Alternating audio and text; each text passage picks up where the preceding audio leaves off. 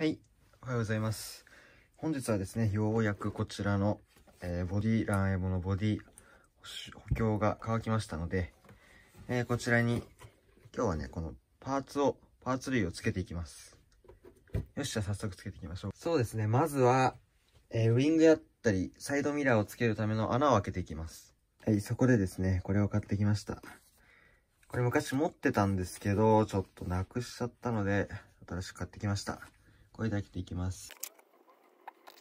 はい、ではまず、リアウィングのところ穴開けていきます。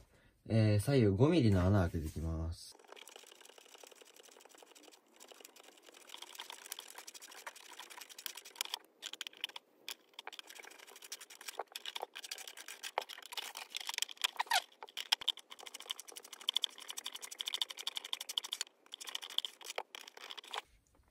よし、OK です。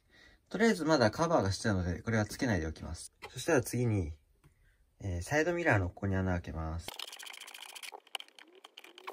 OK です。次反対も。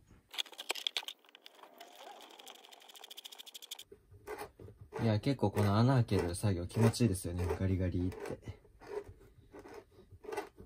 ただこれを調子こいてやりすぎると失敗します。OK です。とりあえずこれもまだカバーがあるので、このままにしておきます。はい、そしたら次はですね、えー、テールライトとヘッドライトのところのシール剥がして、これを取り付けます。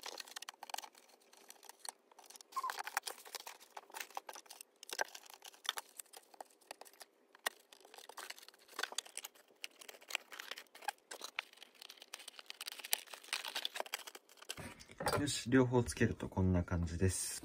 うわ、やらかした。補強で、あ、前哨灯のところ、思いっきり隠しちゃってます。うーん、どうしよう。うーん、頑張ってみましょう。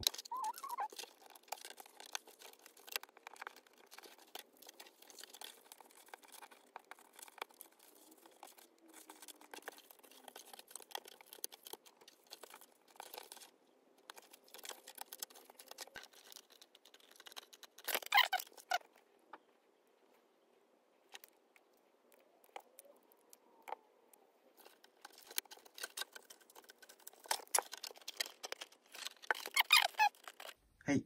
取り付けるとこんな感じになりました。はい。では今回はこんな感じでした。次ね、いよいよシール剥がして、パーツをつけて、あと、えー、色分けできないとこに、えー、ステッカーを貼って完成です。いやー長かったですね。じゃあ今回はこんな感じで。はい、ではまた。